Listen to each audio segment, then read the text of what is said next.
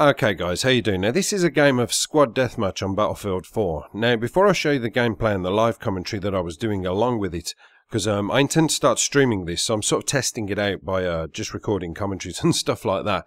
This was somebody's personal server. Now I joined the server as a kind of European preference, and before the game started, they always have, you know, their own preferences to what they want you to play at, their own rules.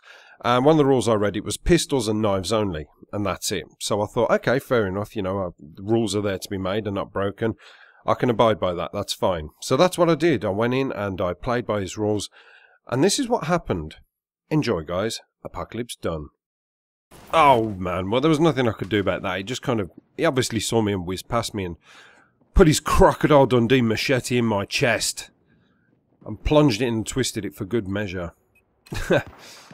This is intense. I like this. Pistols and knives. The new rock band. Move over Guns and Roses. We've got pistols and knives. Do you know it's quite funny actually? Cause they, oh my god. Oh bloody hell. It's like zombies. Oh well I have not got a clue how I got that but I'll uh, I'll take that. Ah!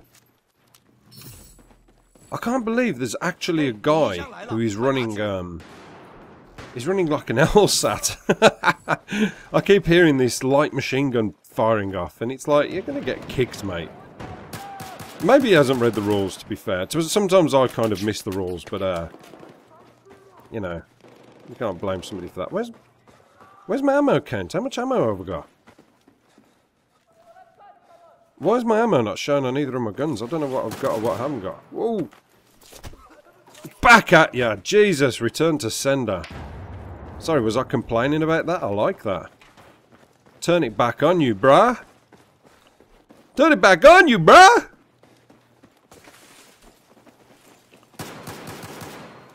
Whoa. Oh, and back again. Return to sender. Return to sender.